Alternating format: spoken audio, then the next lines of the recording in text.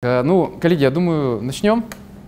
Э, всем здравствуйте, у нас очередная встреча управляющего комитета. Э, рад всех приветствовать. Вначале хотел по традиции сказать небольшое вступительное слово. Если в прошлый раз такой был настрой достаточно пессимистичный, то на сегодня ну, вижу положительные сигналы. В частности, ну, во-первых, активность рынка очень хорошая эти дни идет. А, по посещаемости сайта мы тоже удивлены, думали, что она где-то начнет резко снижаться, э, почти стабильно. То есть, в принципе, при том, что у нас маркетинговые бюджеты последние 2-3 недели, Михаил, серьезно сокращаются, правильно? То есть, потому что там все отключено, никуда рекламу подавать нельзя, а у нас SEO хорошее и э, трафик, честно говоря, просто огромный.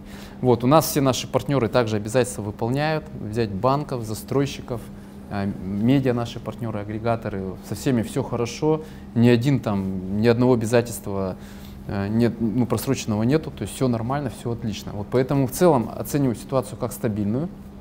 Вместе с тем мы, конечно, понимаем, что из-за высоких ставок а, апрель еще тоже будет очень хороший месяц по финансовому результату, а, но с мая-июня мы ожидаем такую отрицательную динамику, причем серьезную.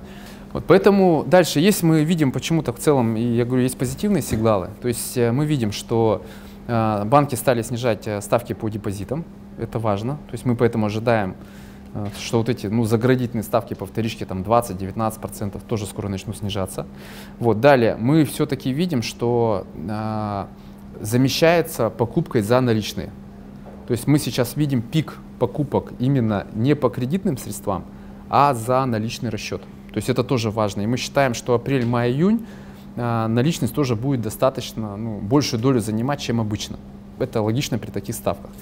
Вот дальше в целом по компании а, мы первую волну а, сокращений провели. Дальше считаем, ситуация будет у нас внутри уже стабильной. Вот. Мы всегда все делаем быстро, коллеги все это знают, с прошлых кризисов научены, не ждем, видим отрицательную там, динамику в плане ожиданий, быстро под это сокращаем размер компании. Ну, в этот раз, я скажу, объем сокращения, на мой взгляд, был минимален. Это значительно меньший процент, чем мы это делали в 2015 году. Поэтому мы ну, нацелены здесь э, позитивно. Вот, э, в целом оценю ситуацию э, как э, абсолютно управляемую у нас. Более того, мы ставим своей целью в этом году рост доли рынка. Мы жертвуем чистой прибылью.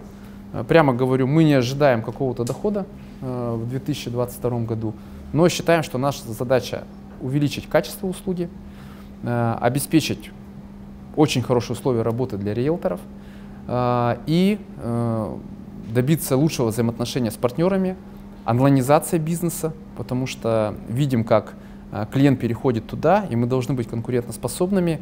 И, наверное, самое главное, это наша корпоративная культура. Я считаю, что это наша самая большая ценность нашей компании. А, и мы тоже не должны там в угоду конъюнктуры где-то сокращать какие-то наши а, такие вот, знаете, вещи, которые мы все привыкли уже, которые это сильные кандидаты на должности, это конкуренция, это принцип назначаемость на должности, вот, э, это уважение каждому сотруднику.